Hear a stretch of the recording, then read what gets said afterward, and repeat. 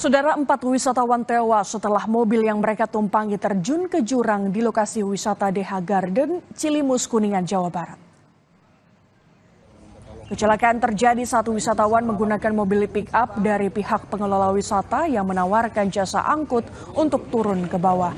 Namun saat enam penumpang menaiki pick up, mobil mengalami remblong hingga menabrak tembok pembatas dan terjun ke jurang sedalam 20 meter.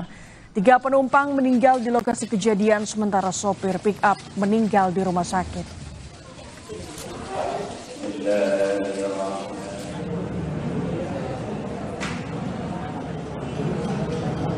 ternyata begitu lagi tawar-menawar untuk jalan kaki, pihak wisata itu menawarkan ada mobil ya bak lah ya, hmm. yang biasa untuk menurunkan para ya pengunjung hmm. untuk turun ke bawah biar nggak jalan kaki capek. Begitu sudah naik semua nah, mobil meluncur. Meluncur bukannya pelan malah tambah kenceng turun tuh langsung nabrak tembok pembatas dan tembok itu hancur ambrol mobil masuk ke jurang Sementara itu keluarga korban meminta pihak pengelola objek wisata bertanggung jawab. Pasalnya korban meninggal akibat mobil pick up yang ditawarkan pihak pengelola mengalami remblong dan terjun ke jurang.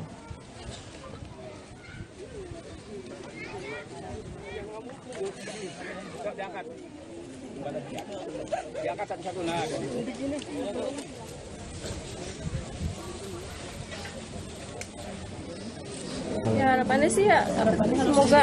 Mm -mm. ditangani berarti ya. Mm -mm, maksudnya ada ada pertanggungjawaban atau nggak kejelasan gitu kan. Katanya kan remblong kayak gitu remblongnya udah dikode kan iya kesalahan dari mereka juga. Maksudnya uh, mobilnya uh, artinya maintenance-nya nggak baik kan buat sebelumnya gitu.